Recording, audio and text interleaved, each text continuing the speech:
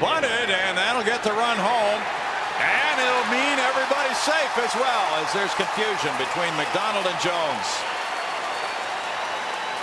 As Schafer puts down a bunt right in between McDonald and Jones and reaches on it to make it 2 nothing. Well, you love having a guy like Schafer up there in that situation. Very similar to the play last night when Jose Altuve pushed a bunt uh, between the pitcher's mound and first base for a base hit. Same situation here. It's not a squeeze play. Sanchez just coming down the line, reading the bunt. He sees it down and says, yeah, I can score on that. And Schafer ends up with a base hit. Very well placed and an RBI number 12 of the year for Schafer.